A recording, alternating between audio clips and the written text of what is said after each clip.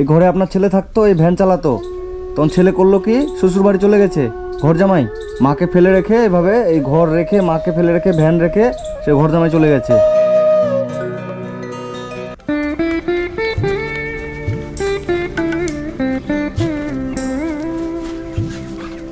বলছি আপনার নামটা কি বলেন?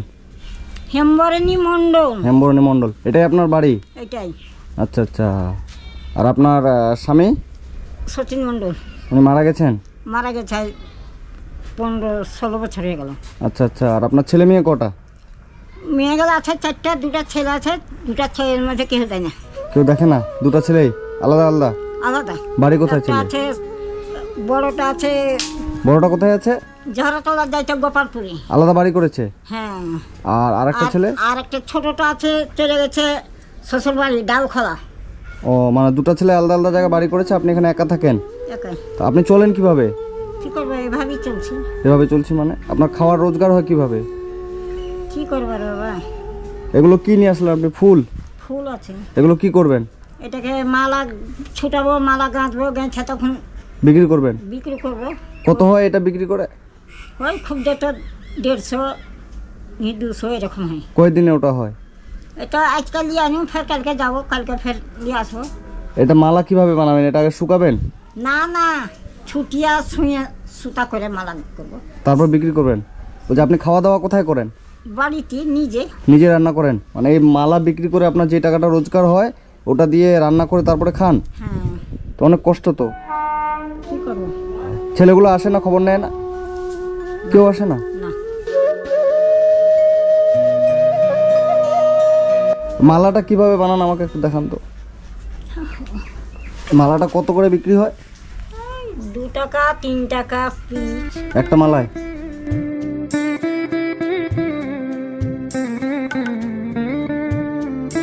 দেখি।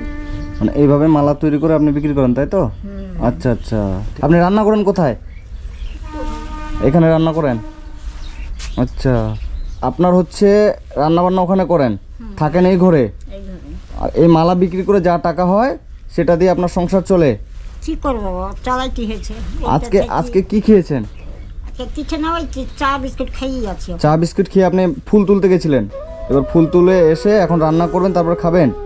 রান্নু কি রান্নু না ঠিক নাই। ছুটাচ্ছি ছুটাচ্ছি বেলা চলে যাবে সঞ্চার লেগে যাবে। এই ফুলগুলো ছোটোতে ছোটোতে সন্ধ্যা হয়ে যাবে। তো খাবেন কি তাহলে? না হলে এমনি থেকে যাবেন। কি করব? তো ছেলে দুটো এরকম করল আপনার সাথে কেন? ওদেরকে তো ভালো করে আপনি মানুষ করেছিলেন তাই না? করব বাবা হাতে পড়তে গেলে আর কেউ ঘুরে তাকায় না। মানে বউর হাতে পড়লেই সবাই আলাদা হয়ে যায় তাই তো? ইস আপনার বাড়িতে কি বাজার টাজার কিছু আছে? চাল আছে। রেশনে চাল পান না? রেশনে চাল আনতে যাইতে ই পাচ্ছি না। আচ্ছা। আমার ছাপ উঠে এই এই ভ্যানটা কার? ভ্যানে আমার ঘি আছে। আপনারই? কে চালায় এটা? তো রেখে গেছে না ও আপনার ছেলে? এই ঘরটা আপনার ছেলের?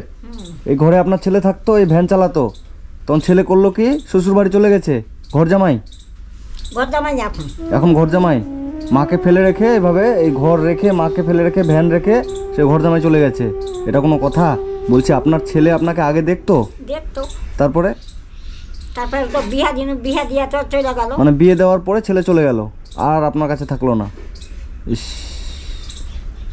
কষ্টের জীবন আপনার। তখন বাবা হ্যাঁ যাই কখন রাস্তাঘাটি মরবো কি মরণ হবে কি, কোন হবে তার ঠিক নাই।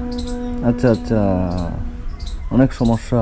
আপনাকে যদি আমি সামান্য কিছু, আমার সামর্থ্য অনুযায়ী আপনাকে হেল্প করি, আমি আপনার নাতির মতো, বুঝলেন? তো আপনি আসছিলেন রাস্তা দিয়ে একটা ব্যাগ নিয়ে, আমার খুব দেখে খারাপ লাগল। তাই তো? ওই জন্যই আমি আপনাকে বললাম যে, ঠাকুমা, আপনার বাড়ি চলেন, আমি যাব। দেখব আপনার বাড়ির অবস্থা কি। তারপর যদি আমার মনে হয় যে, না, ঠাকুমা সত্যি কষ্টে আছে, তাহলে আপনাকে সামান্য কিছু আমি হেল্প করব ঠিক আছে? আপনার বাড়িতে বাজার টাজার আছে? মোটামুটি। বাজার কি আর একটু খালি এক কেজি চাল আছে তো আপনি যে এত কষ্ট করে যে ঠাকুমা থাকেন আপনার কষ্ট হয় না? এইভাবে এত কষ্ট করে থাকছেন কষ্ট লাগে না? কি করব আমি? কিছু করার নেই। ছেলে যে এভাবে রেখে চলে গেল আপনাকে?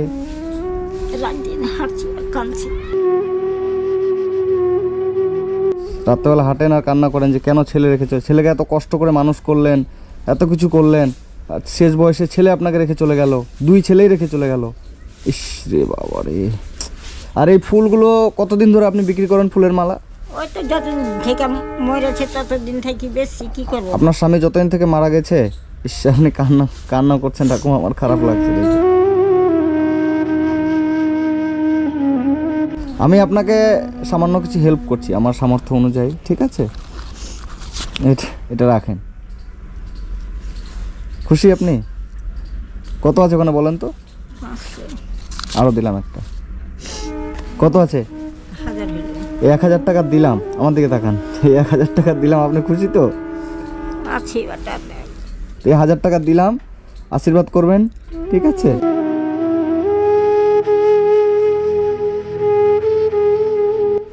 থাকো তুমি ভালোভাবে থাকো বাবা রে এই হাজার টাকা আপনার হবে বাজার টাজার করবেন ঠিক আছে? যতটুকু হয় আমার সামর্থ্য অনুযায়ী আপনাকে আমি দিয়ে গেলাম। আপনি বাজার করবেন, ভালো করে থাকবেন। টাকাটা ভালো করে রেখে দেন হ্যাঁ?